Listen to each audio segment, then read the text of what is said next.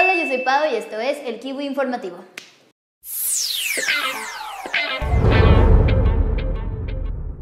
Hola, Kiwinautas. ¿Se acuerdan de SpaceX?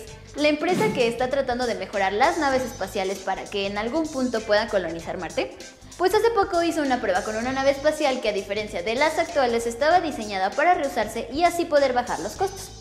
Seguramente han visto en la tele o en el cine que al despegar los vehículos espaciales van soltando ciertas partes y además cuando regresan a la Tierra se queman y se caen al océano y pues ya no sirven para dar otra vuelta.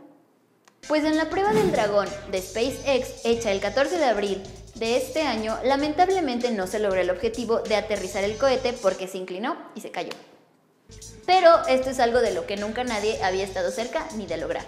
El despegue fue todo un éxito y el aterrizaje falló, pero estuvo muy cerca de ser exitoso. SpaceX dijo que no esperaban que la prueba fuera exitosa y que aún les faltan datos para lograrlo, así que van a usar lo que aprendieron de esta vez para mejorar.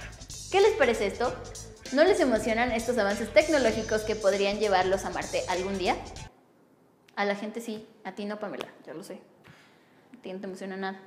Esto es todo por ahora, pero recuerda dar clic en las anotaciones de aquí, suscríbete y da pulgar arriba para apoyar el show. No olvides seguirnos en todas nuestras redes sociales. Sobre. Listo, estoy, estoy lista, estoy lista.